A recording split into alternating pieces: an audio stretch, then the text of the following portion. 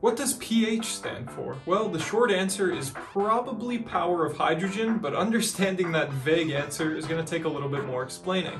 In the early 1900s, a Danish chemist named S.P.L. Sorensen was studying how changes in the amount of hydrogen ions in a solution would affect proteins. Since accurately recording the amount of hydrogen ions in this solution was a really important part of the experiment, he created a new term for it, which resulted in the very first iteration of the modern day pH scale. So this is where things get a little bit strange.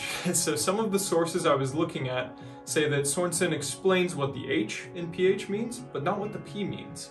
And of these sources that say that, some of them say, oh, well, he was just going through the alphabet, naming the different parts of the experiment, and ended up on P for the part that was producing the hydrogen ions.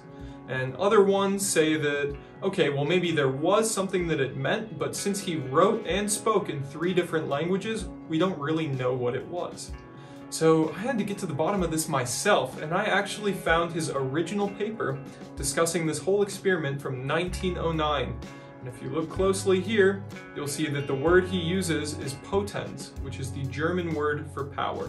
So this begs the question now, why did people think that there wasn't a meaning for the P in pH, even though he explicitly explained what it means in his paper? Well, as time passed, the letter P wasn't really explained in papers, and since it wasn't critically important to learn, its meaning just kind of became a bit lost. The way that pH is actually written changed as well. It started out like this when Sorensen first did it, and then changed to this, and then to this, and now it's this today.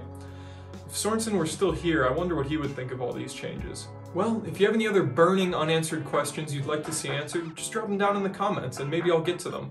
But at the very least, now you know what pH stands for.